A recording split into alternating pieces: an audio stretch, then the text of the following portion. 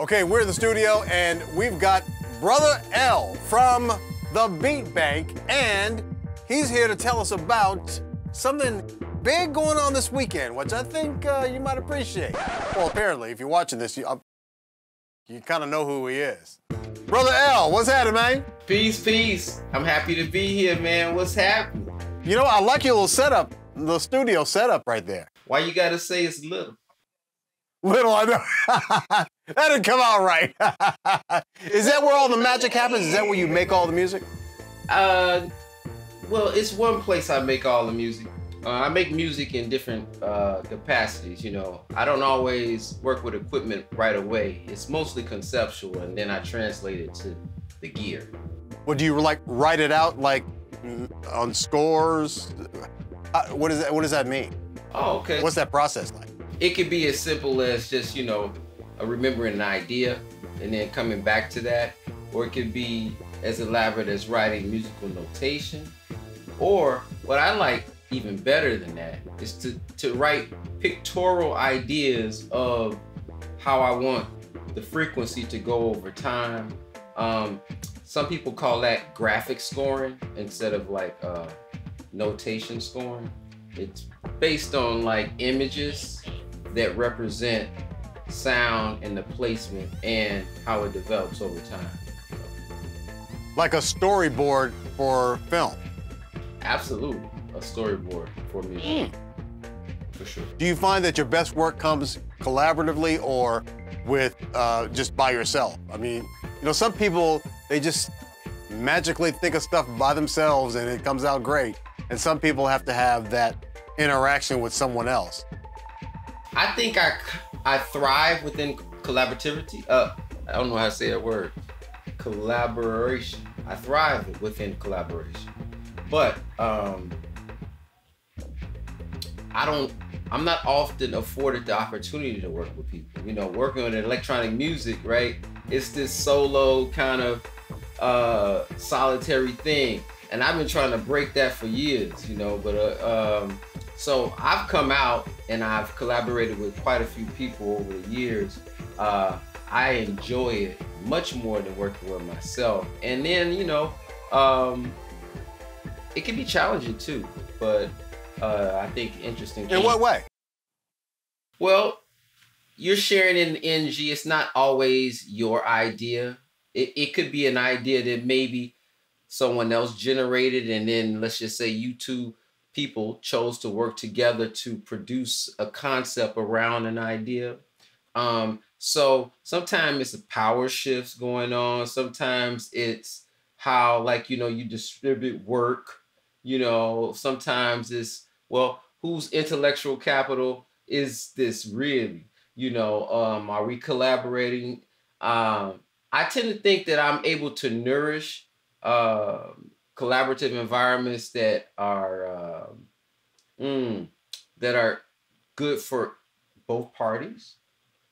Uh, but that's a challenge within itself, and I think that I've learned that over the years. You know, sometimes you just got to be malleable. A little bit of this, a little bit of that, pull back, push forward, Right. basically to get the job done. Uh, and that's really what it is. You know, if we're together to make some sound, let's get there. And I think that we'll both be happy. So your music is definitely unique. Uh, you don't, you just don't hear a lot of music like yours. Um, describe this music. Describe how would you describe your music to others? Somebody who's never heard your music before. How would you describe it? Like a peacock taking its tail feather and shaking it on your face. You know, what fluffles your nose. you know, you might get a little funk whiff, you know what I mean? Cause it's it is the tail.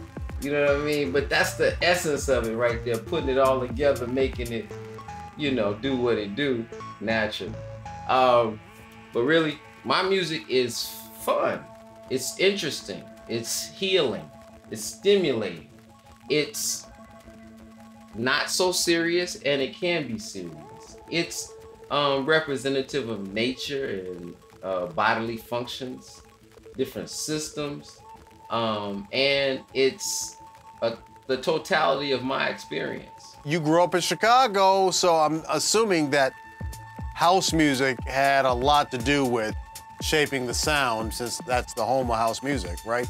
Is that is, is that kind of part of it? Because when I hear your music, I hear some house in there, and it's almost like a new age house EDM kind of mix. It's it's unique. I didn't grow up as a house fan.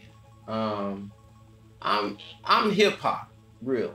Okay. So my aesthetic is coming from a hip hop aesthetic, right? So you know I'm the b boy breaking, beat making, DJing, scratching. But what happened with that is that um, growing up in a house city, I kind of rebelled against house music uh, in many ways. And I often thought about house music was like my father's music, quote unquote. Not in actuality, but like something that's like the mainstream, you know, that people are into. And, you know, I didn't give it much value early on. But I learned to love it because it was all around me. And, you know, when I really gave it a chance, I saw the intricacy and I saw how, like, you know, the relationships and the, the geography and the people of Chicago made this beautiful thing. And you know, when I start to do my history and really learn, you know, who did what and how it was done, I mean, it's an amazing art form. And so I have, I started in hip hop, but I like to say, I don't just make hip hop. I make music, but it's influenced by different things. And, you know, the amounts can vary based on where am I, you know, where am I really trying to go? What do I want people to know about me? Um, what do I want them to feel? So tell us about the event at Oakwood Beach this weekend. Sandbox Symphony is an arts activation for healing and inspiration. And what's happening is that we're galvanizing people, artists, uh, and uh, creating scenarios for people to experience art in a different capacity than they may be used to. So, what that means in reality is that we have music, electronic music on the beach. We have yoga, fitness classes on the beach. We have painting engagements. You know, we have some construction, some, you know, engineering engagements. and we transform the beach into a gallery with no walls, with art you can touch and feel and be a part of. All this mixed together, you know, with people again, is the Sandbox Symphony uh, on Oakwood Beach. Uh, it's a, like I say, an arts activation for healing and inspiration. And when we mix up all of those things, magic happens. Like people experience art on their own terms. They don't feel the society constructs of like, you know, white wall museums and how you're supposed to look and engage And and how boxed far. in. They don't feel it doesn't feel boxed in. No, It definitely not like boxed open. in. That's the first thing, you know, because we're outside, literally, you know. Uh, Right. so, but not only that, you get to participate in a different way. You know, I mean, you can actually touch things. You know, you can make things on the spot. Um, all being Oh. inspired by healing sounds all around. And if you want to work your body out, we got that for you too. Oh, and then there's another component food, of course, you know, so we want you to stay around and spend the day with us. So we got to feed you. Uh, but you feed yourself with your own money, actually. So basically, um, this is going to be the Sandbox Symphony is going to be an open art gallery, like on the art gallery on the beach with this real big open kind of feel to it. But but more than that though, right? It's not just an art gallery. I mean, there's a lot of interaction going on. Absolutely. Um, the way um, I've designed it is that people can engage with different things that on their own terms and at different times and at different amounts. And I actually call it uh, tiers of inspiration in the way that I've designed the beach where like there are layers of experience. So, you know, let's just imagine a frame. First thing you see it's one, and then there's another layer, and then there's another layer, and then there's another layer. There's at least four layers or four tiers of inspiration everywhere you look in Sandbox Symphony. So like it could be a bit of overstimulation, but the way we're using it is totally for people to experience art How in does a that different look? way. Overstimulation. Well, joy, happiness. I don't know. I'm I told you. Overstimulation. That sounds interesting. Yeah, overstimulation is is joy. I like joy. Everybody who doesn't love joy? like a Barry, Barry Barry White voice joy. Now, this is not the first time you've done this. No, this is the seventh year, you know. Special number. Seven is a prime number, right? Um, and uh we've just been growing and this year will be our best year, you know. Uh, you know, they say is uh the best is yet to come. And uh I'm expecting uh nothing but pure overstimulation from everyone you know. Um, another beautiful thing about this event is that it's family friendly, so you can experience this with everyone.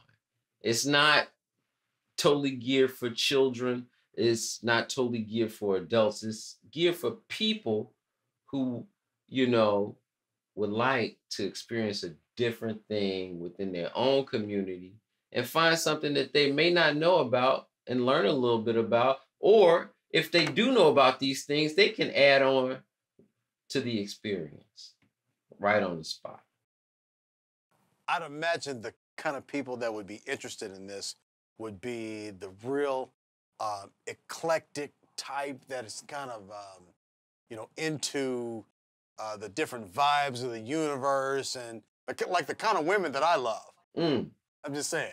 Well, I'll Sam, Uh, you know, the ones who are spiritual, very spiritual. That's the well, you I'm know. Sam, every everybody there is not, you know, wearing crystal deodorant. You know, it's it's a lot of people out here, you know. Um, as a matter of fact, it's designed for everyone. We're trying to break those barriers down. We don't want it to be just for one type of person. Uh, because that wouldn't Okay, that wouldn't okay. serve us. And um, there are things that are built in to stimulate. there's that word again to encourage um, people from all you know facets of life to be a part of it. Well, that's good. That's good. But people, I would assume that they would be somewhat open-minded, at least. Oh, for sure. Well, you know, people are not easily won over, but you know, spend a little time with Sandbox Symphony and you'll realize the magic. With your charming personality, I'm sure it's going to be packed. man, we're expecting record numbers. But it's not about numbers, it's about quality of experience for people. And this cannot happen without people, people power, because we're working, you know, in realms of healing. And we know collectively that this type of thing is where it's at and where we should be going, you know, and not and and, and divesting in you know some of the traditional medicines you know and hey man it's lowering the bar so that it can be accessible. That's like a main key point for sandbox symphony. It's really making art accessible making healing accessible for people because like why should you not be treated if you don't have insurance see um I don't think I've ever heard the word lower the bar before and that quite in that context. But I mean, it's a good analogy. Like, you know, for the masses, bring people in who might not have otherwise thought about it. And I think that's a great thing. Yeah. Sometimes you got to come down to the level so you can get up, right? Got to get down so you can get up. Sandbox Symphony, that's this weekend, 2 p.m.